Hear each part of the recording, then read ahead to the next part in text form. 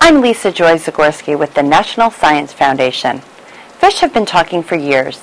Don Knotts, Mr. Limpet, Charlie the Tuna, and of course there's Nemo. Yes, fish and sea life, talking, joking, and socializing verbally are no strangers to Americans, at least not on television and the silver screen. But in real life, fish can't talk. Or can they? Sorry, Charlie. Move over. It seems they can and do. Joining me today is Dr. Andrew Bass. He and his colleagues, Edwin Gilland and Robert Baker, just completed research that is detailed in a new paper in Science magazine. Andy is professor of neurobiology and behavior at Cornell University in Ithaca, New York.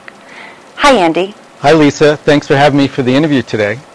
You're welcome. Tell me about your exciting research. Most non-scientists and scientists as well are unaware of the fact that fish are using sound for the purposes of social communication.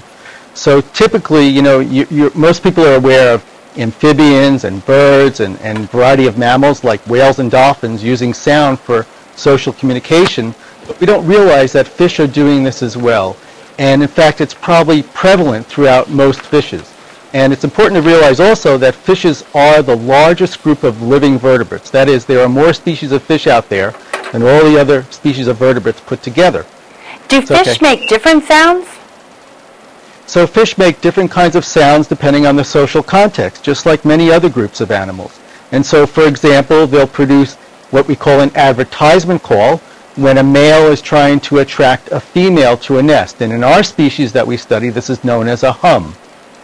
Now, fish will also make other kinds of sounds known as grunts and growls when they're in aggressive situations. And the uh, sound that you hear when you listen to these different vocalizations is very different, just as our own vocalizations differ from situation to situation. Do male and female fish make different sounds? Male and female fish do make different sounds. So for example, only the male, typically in this group of fishes that we've studied known as toadfishes, only the male is making an advertisement call to attract females to his nest. And are there aggressive and passive fish sounds? Well, there are aggressive sounds that known as grunts and growls that males will make when they're defending their nest against a possible intruder into their nest. And females will also make these sounds in other situations. Uh, but we don't know as much about what's going on there as we do in terms of what the male is doing. How did you get interested in fish behavior? Well, this goes way back to uh, when I was actually a student in graduate school and uh, because of the, my graduate mentor, someone named Glenn Northcutt, this was at the University of Michigan, he was just starting to do a lot of research on fish and fish uh, brains, and it just seemed like an incredibly exciting area of study. And I'm also someone who always loved the water as well, whether it's the ocean or a river or a lake. I'm always happiest when I'm near the water.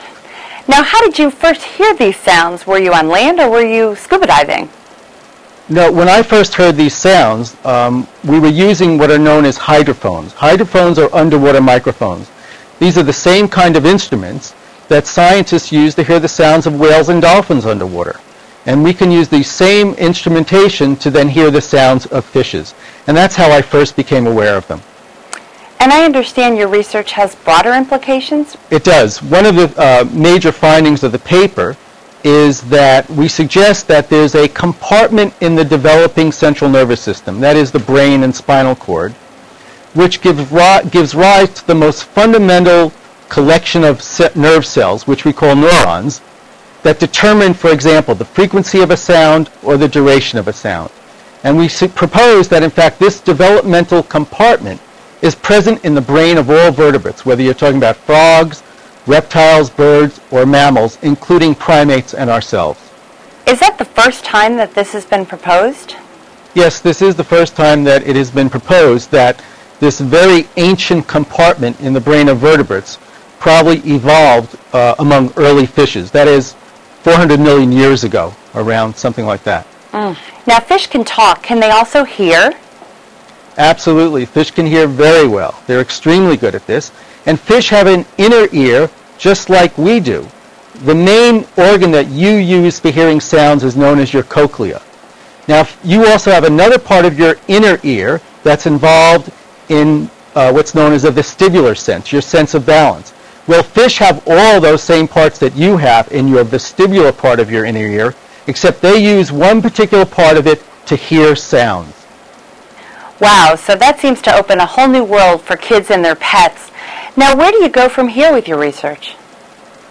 Well, what we're beginning to pursue now is understanding more about this particular compartment in the developing brain and what else it might be involved in, in terms of the collection of neurons that drive certain kinds of behaviors. So it may be involved in behaviors other than just vocalization, which is a social behavior.